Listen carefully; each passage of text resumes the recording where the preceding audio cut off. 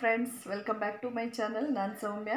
ನನ್ನ ಚಾನಲ್ ಯಾರಾದರೂ first time ನೋಡ್ತಾ ಇದ್ದರೆ ದಯವಿಟ್ಟು ಸಬ್ಸ್ಕ್ರೈಬ್ ಮಾಡ್ಕೊಳ್ಳಿ. ಹಾಗೆ ಸಬ್ಸ್ಕ್ರೈಬ್ ಮಾಡ್ಕೊಂಡು ಯಾರು ನೋಡ್ತಾ ಇದ್ದಾರೆ ಅವರೆಲ್ಲರಿಗೂ ತುಂಬ ಥ್ಯಾಂಕ್ಸ್ ನಿಮ್ಮ ಸಪೋರ್ಟ್ ಯಾವಾಗಲೂ ಹೀಗೆ ಇರಲಿ ಅಂತ ಕೇಳ್ಕೊಳ್ತೀನಿ. ಹಾಗೆ ನನಗೆ ಫೋರ್ ಫೈವ್ ಡೇಸಿಂದ ಸ್ವಲ್ಪ ಹುಷಾರಿಲ್ಲದೆ ಇದ್ದಿದ್ದ ಕಾರಣ ವೀಡಿಯೋಸನ್ನ ಮಾಡೋಕ್ಕಾಗಿರಲಿಲ್ಲ. ನಿನ್ನೆ ನಾನು ವ್ಲಾಗ್ಸ್ ಕಂಟಿನ್ಯೂ ಮಾಡಲಾ, ಹಾಗೆ ರೆಸಿಪೀಸ್ ಕಂಟಿನ್ಯೂ ಮಾಡಲಾ ಅಂತ ಒಂದು ಕ್ವಶನ್ ಕೇಳಿದ್ದೆ. ಅದರಲ್ಲಿ ಸಿಕ್ಸ್ಟಿ ಏಯ್ಟ್ ಪರ್ಸೆಂಟು ನನಗೆ ವ್ಲಾಗ್ ಕಂಟಿನ್ಯೂ ಮಾಡಿ ಅಂತ ವೋಟ್ ಬಂದಿದೆ. ಹಾಗೆ ತರ್ಟಿ ಟು ಪರ್ಸೆಂಟ್ ರೆಸಿಪೀಸ್ಗೆ ಬಂದಿದೆ. ನಾನು ಇನ್ನು ಮುಂದೆ ವ್ಲಾಗ್ಸ್ನೇ ಕಂಟಿನ್ಯೂ ಮಾಡ್ಬೇಕು ಅಂದ್ಕೊಂಡಿದ್ದೀನಿ ಜೊತೆಗೆ ರೆಸಿಪೀಸ್ನು ಶೇರ್ ಮಾಡ್ಕೊಳ್ತೀನಿ. ಹಾಗೆ ಒಳ್ಳೊಳ್ಳೆ ಕಮೆಂಟ್ಸ್ ಕೂಡ ಬರ್ತಾ ಇದೆ. ಅದರಲ್ಲಿ ಉಷಾ ಜೆ ಕೆ ಅವರು ಹಾಗೆ ಶ್ವೇತಾ ಉಮೇಶ್ ಅವರು ಕೂಡ ತುಂಬ ಒಳ್ಳೊಳ್ಳೆ ಕಮೆಂಟ್ಸ್ ಕೊಟ್ಟಿರ್ತೀರ. ಹಾಯ್ ಉಷಾ ಅವರೇ, ಹಾಗೆ ಶ್ವೇತಾ ಅವರೇ, ಹೇಗಿದ್ದೀರಾ? ನಿಮ್ಮ ಕಮೆಂಟ್ಸ್ ನೋಡಿ ನನಗೆ ತುಂಬ ಖುಷಿ ಆಗ್ತಾ ಇರುತ್ತೆ. ಹಾಗೆ ಅದ್ರ ಜೊತೆಗೆ ಇನ್ನೂ ಒಳ್ಳೊಳ್ಳೆ ಕಮೆಂಟ್ಸ್ ಬಂದಿರುತ್ತೆ. ಎಲ್ಲರ ಸಪೋರ್ಟ್ ಹೀಗೆ ಇರಲಿ ಅಂತ ಕೇಳ್ಕೊತೀನಿ ಈಗ ನಾನು ನಮ್ಮ ಉತ್ತರ ಕರ್ನಾಟಕದ ಸೈಡ್ದು ಪದರ್ ಚಪಾತಿ ಮಾಡಕತ್ತೇನೆ. ನಿಮ್ಮ ಜೊತೆ ಮಾತಾಡ್ತಾ ನಾನು ಉತ್ತರ ಕರ್ನಾಟಕದ ಪದರ್ ಚಪಾತಿ ಹೆಂಗೆ ಮಾಡೋದು ಅಂತ ಈಗ ಶೇರ್ ಮಾಡ್ಕೊಳ್ತೀನಿ. ಬರ್ರಿ. ಕೆಳಗಡೆ ಮಕ್ಕಳು ಹಸ್ಬೆಂಡು ಎಲ್ಲ ಟಿ ವಿ ನೋಡ್ತಾ ಇದ್ರು. ತುಂಬ ಡಿಸ್ಟರ್ಬೆನ್ಸ್ ಆಗುತ್ತೆ ಅಂದ್ಕೊಂಡು ನಾನು ಮೇಲಿನ ಬೆಡ್ರೂಮಲ್ಲಿ ಬಂದು ಮಾತಾಡ್ತಾ ಇದ್ದೆ.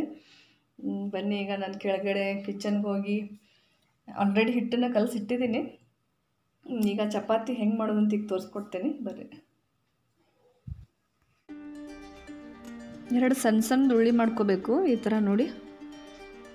ಸ್ವಲ್ಪ ದೊಡ್ಡ ದೊಡ್ಡದಾದ್ರೆ ಏನಾಗುತ್ತೆ ಅಂದರೆ ಚಪಾತಿ ದಪ್ಪ ದಪ್ಪ ಆಗುತ್ತೆ, ಅಷ್ಟು ಚೆನ್ನಾಗಿ ಅನಿಸಲ್ಲ. ಚಿಕ್ಕ ಚಿಕ್ಕ ಉಳ್ಳಿ ತೊಗೋಬೇಕು. ನಾನು ಆಲ್ರೆಡಿ ಹಿಟ್ಟನ್ನು ಕಲಸಿ ಹದಿನೈದು ನಿಮಿಷ ನೆನೆಸಿಟ್ಟಿದ್ದೆ. ನೆನೆಸಿಡಲಿಲ್ಲ ಅಂದರೆ ಚಪಾತಿ ಸಾಫ್ಟ್ ಆಗಲ್ಲ. ಹಾಗೆ ಒಂದು ಸೈಡು ಎಣ್ಣೆ ಹಚ್ಕೋಬೇಕು, ಒಂದು ಸೈಡ್ ಸ್ವಲ್ಪ ಹಿಟ್ಟು ಉದುರಿಸ್ಕೋಬೇಕು. ಯಾಕಂದರೆ ನಾವು ಚಪಾತಿ ಮಾಡಿದ ಮೇಲೆ ಚಪಾತಿ ಚೆನ್ನಾಗಿ ಬಿಚ್ಕೊಳ್ಳುತ್ತೆ. ಎರಡೂ ಲೇಯರು ಚೆನ್ನಾಗಿ ಓಪನ್ ಆಗುತ್ತೆ.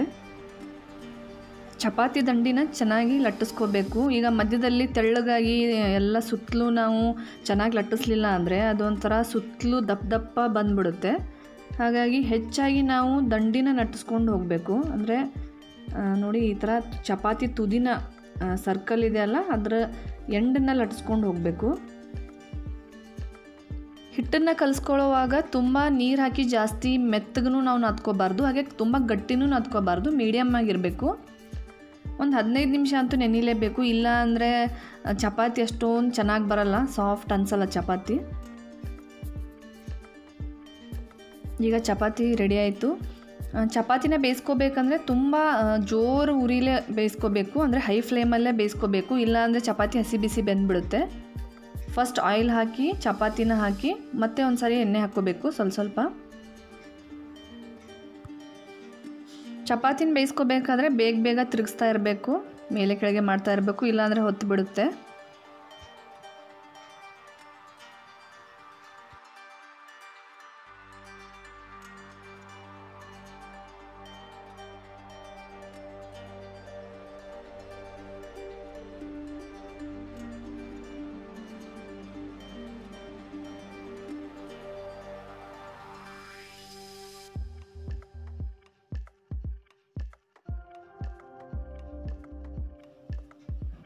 ನೋಡಿ, ಚಪಾತಿ ರೆಡಿ ಆಯಿತು. ಈಗ ನಾನು ಇದನ್ನು ಚಿಬ್ಲದಲ್ಲಿ ಹಾಕ್ತಾ ಇದ್ದೀನಿ. ಇದನ್ನು ಚಿಬ್ಲಾನ ನಾನು ಮೊನ್ನೆ ಊರಿಂದ ಬರಬೇಕಾದ್ರೆ ತಗೊಂಡು ಬಂದಿದ್ದೆ ಅಮ್ಮನ ಮನೆಯಿಂದ.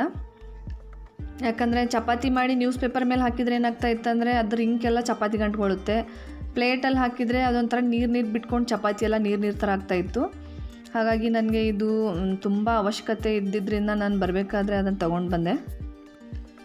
ಈಗ ಸೇಮ್ ಪ್ರೊಸೀಜರಲ್ಲೇ ನಾನು ಮತ್ತೆ ಚಪಾತಿ ಮಾಡ್ತಾ ಇದ್ದೀನಿ. ಒಂದು ಕಡೆ ಎಣ್ಣೆ ಹಚ್ಚಬೇಕು ಆಮೇಲೆ ಇನ್ನೊಂದು ಸೈಡು ಒಂದು ಚೂರು ಹಿಟ್ಟು ಉದುರಿಸ್ಬೇಕು. ಹಾಗೆ ಚಪಾತಿ ಲಟ್ಟಿಸೋವಾಗ ಆದಷ್ಟು ಹಿಟ್ಟನ್ನು ಕಮ್ಮಿ ಯೂಸ್ ಮಾಡಿ ಲಟ್ಟಿಸ್ಬೇಕು. ತುಂಬ ಜಾಸ್ತಿ ಹಿಟ್ಟು ಹಚ್ಚಿ ಹಚ್ಚಿ ನಾವು ಲಟ್ಸಿದ್ರೆ ಚಪಾತಿ ಹಿಟ್ಟು ಹಿಟ್ಟು ಆಗಿಬಿಡುತ್ತೆ. ಹಸ್ಬೆಂಡು ನಾನು ಎಲ್ಲ ಮನೆಯಲ್ಲಿ ಚಿಕ್ಕವರಿದ್ದಾಗಿಂದ ಜೋಳದ ರೊಟ್ಟಿ ಚಪಾತಿ ತಿನ್ಕೊಂಡು ಬೆಳೆದಿದ್ರಿಂದ ಈಗ ಬರೀ ಅನ್ನ ಅಂತೂ ನಮ್ಗೆ ತಿನ್ನೋಕ್ಕಾಗಲ್ಲ. ಮಧ್ಯಾಹ್ನ ಮಧ್ಯಾಹ್ನ ಮತ್ತು ನೈಟು ನಮಗೆ ರೊಟ್ಟಿ ಅಥವಾ ಚಪಾತಿ ಬೇಕೇ ಬೇಕು. ಬರೀ ರೈಸ್ ಅಂದರೆ ಯಾರಿಗೂ ಇಷ್ಟಪಡಲ್ಲ ಮನೇಲಿ. ಹಾಗಾಗಿ ಚಪಾತಿ ಹೆಚ್ಚಾಗಿ ಮಾಡ್ತಾ ಇರ್ತೀನಿ. ಯಾವಾಗಲಾದರೂ ಒಂದು ಸಾರಿ ಜೋಳದ ರೊಟ್ಟಿ ಮಾಡ್ತಾ ಇರ್ತೀನಿ.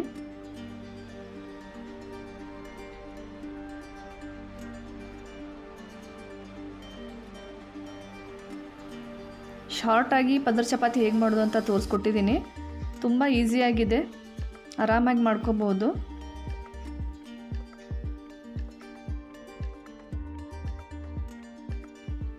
ಸೇಮ್ ಪ್ರೊಸೀಜರಲ್ಲೇ ಈಗ ನಾನು ಎರಡನೇದ್ದು ಲಟ್ಸಿರೋ ಚಪಾತಿ ಹಾಕ್ತಾಯಿದ್ದೀನಿ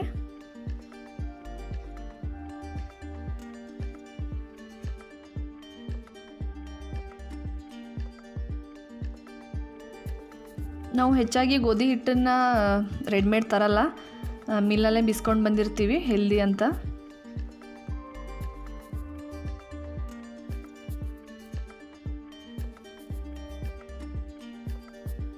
ನಾನು ಡೈಲಿ ಚಪಾತಿ ಮಾಡೋದ್ರಿಂದ ನಮಗೆ ಗೋಧಿ ಹಿಟ್ಟು ತುಂಬ ಜಾಸ್ತಿ ಬೇಕಾಗುತ್ತೆ. ಹಾಗಾಗಿ ಒಂದೇ ಸಾರಿ ಒಂದು ಹದಿನೈದು ಕೆ ಜಿ ಆ ಥರ ನಾವು ಗೋಧಿ ಹಿಟ್ಟು ಬಿಸ್ಕೊಂಡು ಬಂದಿರ್ತೀವಿ.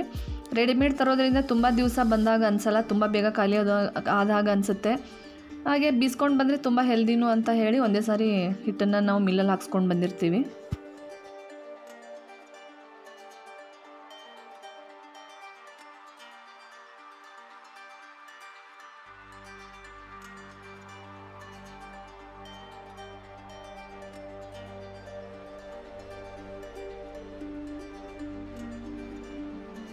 ನೋಡಿ, ಪದರ್ ಚಪಾತಿ ರೆಡಿ ಆದವು ನಾನು ಒಂದೊಂದು ಟೈಮ್ಗೆ ಎಂಟು ಅಥವಾ ಒಂದೊಂದು ಸಾರಿ ಒಂಬತ್ತು ಆ ಥರ ಅಷ್ಟೇ ಮಾಡಿರ್ತೀನಿ ಚಪಾತಿ. ತುಂಬ ಜಾಸ್ತಿ ಮಾಡೋಕ್ಕೆ ಹೋಗಲ್ಲ. ಯಾವಾಗ ತಿಂತೀವೋ ಆವಾಗಲೇ ಬಿಸಿ ಬಿಸಿದು ಮಾಡಿಕೊಟ್ಟಿರ್ತೀನಿ. ನೋಡಿ, ಚಪಾತಿ ಪದ್ರ ಹೇಗೆ ಬಿಚ್ಕೊಳ್ತಾ ಇದೆ ಅಂತ. ನಾವು ಎಣ್ಣೆ ಒಂದು ಸೈಡು ಮತ್ತು ಹಿಟ್ಟನ್ನು ಒಂದು ಸೈಡ್ ಉದುರಿಸಿರೋದ್ರಿಂದ ಚಪಾತಿ ಈ ಥರ ಬಿಚ್ಕೊಳ್ಳುತ್ತೆ ನೋಡಿ, ಎಷ್ಟು ಚೆನ್ನಾಗಿ ಬಂದಿದೆ ಅಲ್ವಾ ಪದ್ರ ಚಪಾತಿ. ನೀವು ಕೂಡ ಟ್ರೈ ಮಾಡಿ ನೋಡಿ, ಚೆನ್ನಾಗಿ ಬರುತ್ತೆ. ಇವತ್ತಿನ ಪದ್ರ ಚಪಾತಿ ನಿಮಗೆ ಇಷ್ಟ ಆದರೆ ಲೈಕ್ ಶೇರ್ ಸಬ್ಸ್ಕ್ರೈಬ್ ಮಾಡೋದು ಮರಿಬೇಡಿ. ಮತ್ತೆ ಸಿಗೋಣ. Thank you